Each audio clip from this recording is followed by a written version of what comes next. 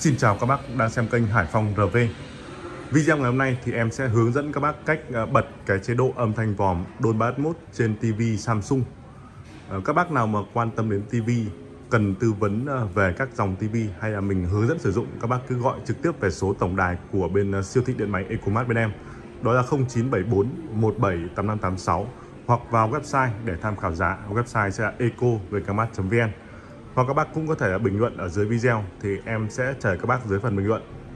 Và ngay sau đây thì ờ, em sẽ hướng dẫn các bác cách ờ, bật cái chế độ âm thanh vòm trên TV của Samsung.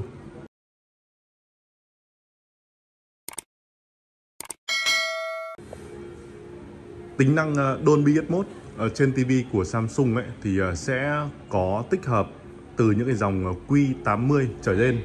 Còn những dòng thấp hơn thì sẽ không có tích hợp bởi vì sao? Bởi vì uh, cái tính năng Dolby Atmos ấy thì yêu cầu cái uh, uh, phần cứng của TV ấy phải uh, bao gồm ít nhất là 4 củ loa thì nó mới tích hợp được uh, Dolby Atmos sẽ có hai loa tiếng uh, chính và hai cái loa tiếng phụ. Như vậy mới tạo ra âm thanh vòm. Vì vậy mà sẽ áp dụng uh, có tích hợp từ dòng Q80 Q80 này QN85 này QN90 này rồi những dòng TV đời cao cấp hơn thì đều có thì à, ngay sau đây em sẽ hướng dẫn các bác cách à, bật trên cái mẫu QN85 đây, em lấy ví dụ một mẫu thôi. Còn các bác nào mà sử dụng từ cái dòng Q80 Q80D ờ, hay Q80C thì đều có thể áp dụng được theo cách này. Bình thường ấy thì ờ, âm thanh của TV sẽ không bật Dolby Atmos thì các bác có thể à, vào phần cài đặt TV để mình bật lên. Các bác sẽ ra màn hình chính nhá. Đầu tiên thì các bác bấm cái nút Home để ra màn hình chính này sau đó thì các bác sẽ vào phần tất cả cài đặt nhé. Mình chuyển sang bên ờ, trái. Sau đó thì ờ, các bác vào ờ, cài đặt này. Sau đó các bác chuyển sang tất cả cài đặt này. Đây. Ấn ok này. Xong nhấn tất cả cài đặt ok nữa này, để cho nó lên cái phần cài đặt của tivi sau đó thì các bác sẽ chuyển xuống phần âm thanh. Ấn ok này. Sau đó các bác chuyển sang bên này kéo xuống ờ, phần ờ, cài đặt chuyên môn. Đây. Sau đó các bác bấm ok tiếp này. Ở đây thì ờ, các bác sẽ nhìn thấy ngay là sẽ có một cái dòng là Dolby Atmos. Đây Dolby Atmos đây. Các bác uh, chuyển xuống cái dòng đó các bác ấn ok này. Ấn ấn ok để bật cái công tắc Dolby Atmos này lên. Thì uh, với những cái uh, chương trình bình thường ví dụ như các bác uh, xem uh, truyền hình VTV này xem uh, các ứng dụng mà không có cái phim hỗ trợ định dạng Dolby mốt đấy thì uh, khi các bác bật cái chế độ này lên thì cái âm thanh của TV nó vẫn nghe hay hơn so với các bác không bật nhá. Còn nếu như các bác mà xem những cái bộ phim những cái video mà có Dolby mốt đấy thì uh, nghe cực kỳ là hay. Và TV cái loa TV các bác sẽ trải nghiệm được ngay. Những cái bộ phim mà có Dolby mốt thì các bác có thể tìm trong Netflix này ứng dụng ấy thì uh, khi mà mình ờ, xem phim mình ờ, xem cái ờ, cái mô tả ở dưới bộ phim ấy thì nó sẽ có tích Dolby Atmos, Dolby Vision. Thì chính là những cái bộ phim đó sẽ có tích hợp Dolby Atmos. Và các bác xem trên cái mẫu TV của Samsung này thì sẽ trải nghiệm được hết cái âm thanh vòm giống như các bác xem trong dạp chiếu phim. Thì đấy là cái tính năng Dolby Atmos trên TV của Samsung. Các bác nên bật nhá. Kể cả các bác xem VTV xem giải trí bình thường hay là xem YouTube các bác bật lên thì cái chất liệu âm thanh nghe nó cũng sẽ hay hơn so với các bác là không bật. Còn một số cái dòng tivi mà thấp hơn mà hỗ trợ đồn bá Atmos ấy thì thực ra em thấy là không cần thiết. Những cái dòng như là Q70D sẽ không có tính năng Dolby Atmos đây em sẽ vào thử cho các bác xem ngay nhé đây. À, vào thử cái mẫu Q70 này. Cái này thì sẽ có từ ờ, dòng Q80 cho nên là Q70 sẽ không có.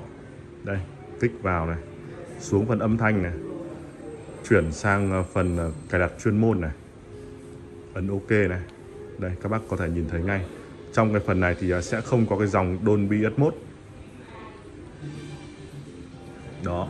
Thì với những cái mẫu TV Q70D này thường hãng các hãng sản xuất ấy, họ thường bảo là hỗ trợ Dolby Atmos. Nhưng em thấy thì thực ra thì đây chỉ hãng họ nói vậy thôi chứ còn các bác không cần thiết nhé bởi vì khi các bác đã kết nối sang cái bộ loa sau ba bên ngoài mà có Dolby Atmos rồi, thì ờ, các cái tiếng, các cái âm thanh vòm nó sẽ xử lý hết trên loa. Và lúc đó thì cái tivi nó sẽ không xử lý gì cả, mà phụ thuộc vào bộ loa. Vì vậy mà với những cái dòng tivi mà không có Dolby Atmos trực tiếp trên tivi các bác chỉ cần mua một bộ loa có Dolby Atmos các bác cắm ờ, dây HDMI là sẽ có trải nghiệm âm thanh vòm. Bởi vì lúc đó thì cái âm thanh vòm ấy thì ờ, trên cái bộ loa nó đã xử lý, nó đã phát ra rồi chứ không cần phải tivi nữa. Thì đây là cái ờ, gần như cái thông số mà hãng đưa ra là hỗ trợ âm thanh vòm ấy. Thực ra không cần thiết, bởi vì ờ, đã không có thì là sẽ không có. Còn đã có thì giống như cái dòng Q85D hay là Q80D là sẽ có cái tính năng tích hợp bật tắt như vậy. Thì đấy chính là cái đồn viết mốt, các bác hiểu rõ hơn giúp em. Đây sẽ ví dụ một cái mẫu Q80 đây, dòng ờ, Q80 mẫu ờ, Q80 em ờ, sẽ bật ờ, trên cái dòng 75 inch nhá. 75 inch Q80 đây. Em sẽ bật thử trên cái mẫu này xem có hay không nhé mẫu này thì có rồi, và lúc em vừa mới bật rồi, thì em sẽ bật lại cho các bác xem thôi. Vào phần cài đặt này. Ấn ok này. Xong chọn tất cả cài đặt này. Các bác xuống phần âm thanh này. Ấn ok tiếp này. Các bác chuyển sang phần cài đặt chuyên môn này chọn ok này. Đây. Dolby Atmos đã, đã bật rồi. Đó đây chính là cái tính năng Dolby Atmos dòng Q80D từ dòng này trở lên cái dòng cao hơn thì sẽ có còn những cái dòng như là Q70D, Q60, DU8000 hay là BU8000, AU7007 thì sẽ không có Dolby Atmos thì khi mà muốn sử dụng muốn nghe âm thanh vòm thì các bác ờ, phải mua thêm bộ loa sao ba bên ngoài có tích hợp Dolby Atmos xong đó các bác kết nối qua cổng HDMI sang TV thì lúc đó chúng ta sẽ trải nghiệm được. Và cái lưu ý là ờ, khi mà xem phim ấy thì các bác phải tìm những cái bộ phim mà có hỗ trợ Dolby Atmos thì các bác mới trải nghiệm được cái âm thanh vò. đấy là cái lưu ý của em. Trên đây video em đã hướng dẫn các bác cách bật tắt cái Dolby Atmos trên TV của Samsung thì các bác nào mà cần tư vấn thêm hoặc là các bác ờ, cần giải đáp những cái thắc mắc khác về TV các bác cứ bình luận ở dưới video hoặc gọi điện trực tiếp về số tổng đài bên em đó là 0974 178586 video đến đây cũng xin kết thúc. Rất cảm ơn các bác đã xem hết video. Bác nào mà thấy hay có ích thì đừng quên cho em xin một đăng ký kênh một like và nhấn chuông thông báo để nhận thông báo ra những video mới nhất hàng ngày từ kênh Hải Phòng RV à, ờ, xin chào và hẹn gặp lại các bác ở những video sau.